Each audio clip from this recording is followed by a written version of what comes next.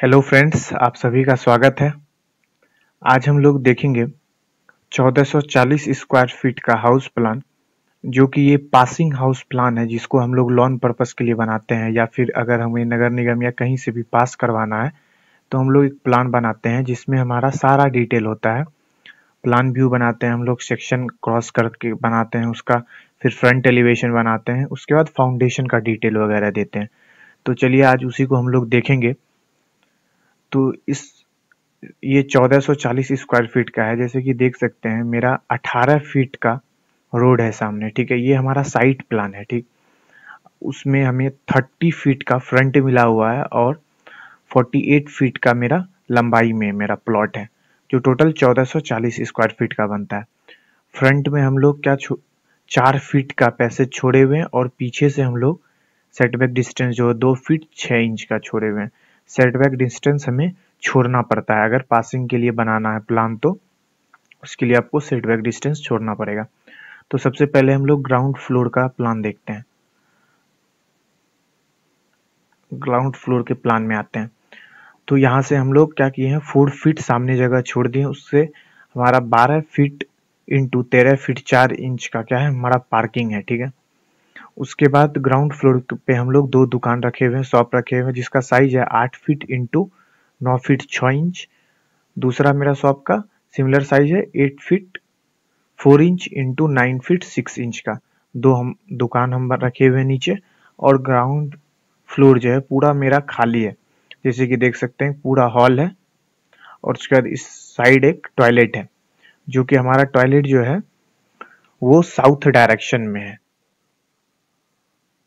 Toilet हमारा south direction में है, हमारा रोड जो है, ये वेस्ट डायरेक्शन में, ये हमारा ईस्ट हो गया, ये हमारा साउथ हो गया, ये हमारा नॉर्थ हो गया। तो यहाँ हमारा नॉर्थ डायरेक्शन में टॉयलेट है। और टॉयलेट के जस्ट बगल में हम लोग डक्ट छोड़े हुए हैं, क्योंकि इसमें हम लोग वेंटिलेशन प्रोवाइड कर सकें। और पीछे हम लोग दो फीट छः इंच का सेटबैक डिस्टेंस छोड़े हुए हैं। तो हम लोग फ़र्स्ट फ्लोर और सेकेंड फ्लोर सिमिलर है तो उसको सब, इसके बाद हम लोग देख लेते हैं।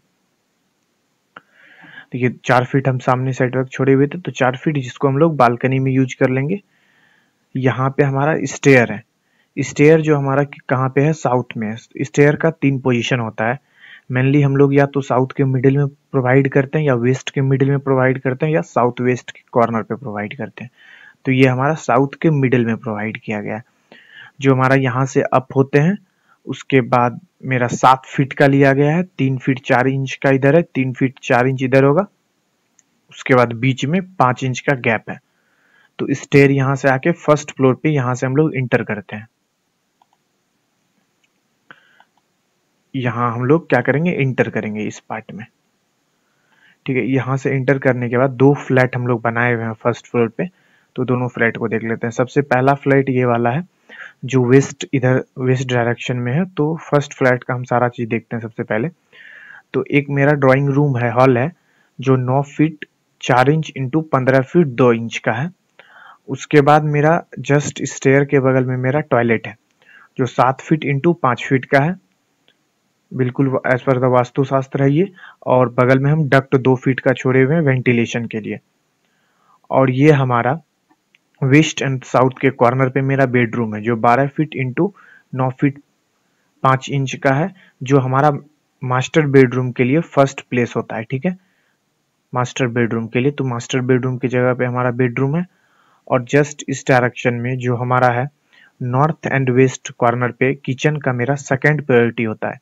या तो हम लोग ईस्ट एंड साउथ अग्नि कोना में प्रोवाइड करते हैं, या फिर वेस्ट एंड नॉर्थ में प्रोवाइड करते हैं। तो ये हमारा वेस्ट एंड नॉर्थ डायरेक्शन में जो eight feet into nine feet पाँच इंच का है, किचन है हमारा। स्लैब यहाँ पे बैठाया हुआ है। उसके बाद जस्ट बगल में मेरा डाइनिंग हॉल आ जाता है, eight feet nine inch into nine feet five inch का। यहाँ से हमारा दो दो गेट डाल दिए हैं, जिससे हम बालकनी में आ सके। उसके बाद एक बेडरूम इधर है, बारह फीट इंटू दस फीट का। तो दो बेडरूम हो गया टू बीएच का कंप्लीट फ्लैट है ये। दो बेडरूम है, एक हॉल है डाइनिंग हॉल है ड्राइंग हॉल है टॉयलेट है और किचन है। दूसरे फ्लैट में यहाँ से हम लोग सीढ़ी से इंटर करने के बाद यहाँ से आएँगे, जिसमें ड्राइंग हॉल है, दस फीट दो इंच इंटू बारह फीट दो इंच का।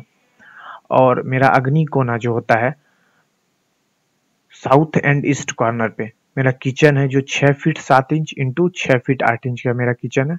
और यहाँ दो फीट का हम लोग डक्ट प्रोवाइड किए हैं, जिससे कि हमारा फ्री हवा वगैरह लाइट वगैरह आता रहे घर में। और यहाँ डक्ट है, यहाँ हमारा डक्ट है, उसके बाद टॉयलेट है जस्ट उसके बगल में, जो सात फीट इंटू चार फीट आठ इंच का है टॉयलेट ये अटैच वाला टॉयलेट है टॉयलेट प्लस बाथ दोनों है। ठीक है, इस कॉर्नर में हमारा एक बेडरूम है जो बारह फीट इंटू दस फीट का है। उसके बाद एक बेडरूम इस साइड डायरेक्शन में है, जो दस फीट छह इंच इंटू दस फीट का है। यहाँ से हम लोग, इस जगह भी हम लोग सेटबैक छोड़े हुए हैं, एक फीट छह इंच का। उसके बाद हम लोग विंडो प्रोवाइड कर दिए। अलग अलग साइज़ का डोर और विंडोज़ लगे हुए हैं। ये हमारा first floor and second floor दोनों का ये प्लान था, ठीक है? अब इसका हम लोग ये साइड प्लान बनाए हुए हैं। साइड एलिवेशन हम लोग बनाए हुए हैं, ठीक है? और इसका, उसके बाद हम लोग देख लेते हैं फ्रंट एलिवेशन देखेंगे, उसके बाद सेक्शन को हम लोग देखेंगे।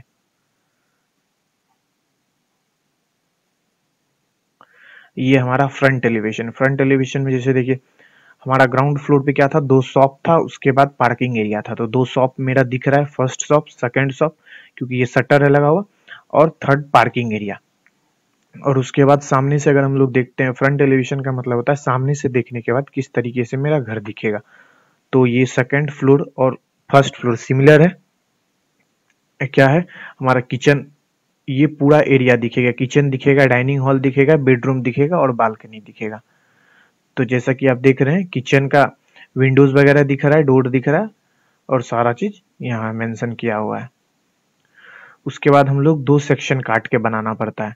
तो एक एक्स सेक्शन काटते हैं, एक वाई सेक्शन काटते हैं। तो एक्स सेक्शन यहाँ से कट किए हैं। अगर यहाँ से कोई देख रहा है इस साइड देख रहा है तो क्या क्या पार्ट दिखेगा घर का? उसको हम लोग सेक्शन कहते हैं सेक्शन क्रॉस किए हुए हैं एक्स डायरेक्शन में। तो ये एक्स एक्स सेक्शन का ये वाला हमारा डायग्राम है। जैसे कि देख सकते हैं, ये ग्राउंड का, ये फ़र्स्ट एंड सेकंड का सिमिलर है। ये हमारा सेक्शन एक्स एक्स काटा हुआ है। और एक सेक्शन हम लोग वाई वाई काटे हुए हैं, जो यहाँ से स्टार्ट होता है और यहाँ तक। जैसे देखिए, इसमें हमारा स्टेयर पूरा आ जाता है कवर हो जाता है। तो ये हमारा देखिए सेक्शन वाई वाई बना हुआ है। क्योंकि ग्राउंड फ्लोर से हमारा फ़र्स्ट फ्लोर सेकंड फ्लोर अलग है तो ग्राउंड फ्लोर का अलग है, उसके बाद ऊपर का अलग है पार्ट ये हमारा पूरा प्लान था। इसको हम लोग फीट एंड इंचेज में बनाए हुए थे। तो पासिंग प्लान मिलीमीटर में बनाए हुए उसको एक बार देख लेते हैं। पूरा उसमें डिटेल वगैरह भी लिखे हुए हैं, इसमें हम लोग डिटेल नहीं लिखे हैं। ठीक है वही प्लान है। इसमें क्या किए हुए हम लोग? सारा चीज़ वही है। Side front elevation side elevation section X X section Y Y उसके बाद साइड प्लान है ग्राउंड फ्लोर का है फ़र्स्ट फ्लोर सेकंड फ्लोर का है।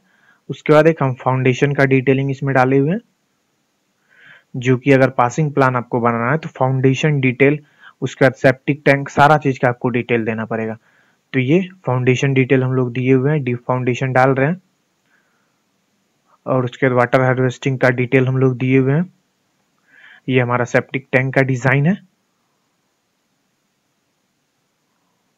और इस पार्ट में पूरा हमें मेंशन करना पड़ता है। प्लॉट का डिटेल नाम, किन के नाम से प्लॉट है, सारा चीज़ मेरा area plot total plot area कितना है बिल्टअप एरिया कितना है, उसके बाद एफ़ रेशियो कितना आ रहा है, सारा चीज़ को हमको डिटेल करना पड़ता है। और उसके बाद हमें इस कॉर्नर पे देखिए, जैसे यहाँ दिख रहा होगा schedule of door and windows का हम लोग शेड्यूलिंग करते हैं सारा चीज़। अगर डी वन प्रोवाइड किए हुए तो कितना है? साढ़े सात सौ विथ है इसका। ठीक है? डी वन है डी है विंडोज़ हम दो तरह का प्रोवाइड किए हैं डब्ल्यू डब्ल्यू वन तो सारा का इसमें हम लोग डिटेलिंग दिए हुए स्केल डालना पड़ता है।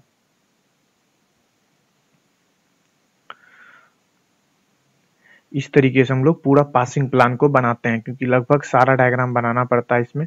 आठ से दस डायग्राम बनाना पड़ता है।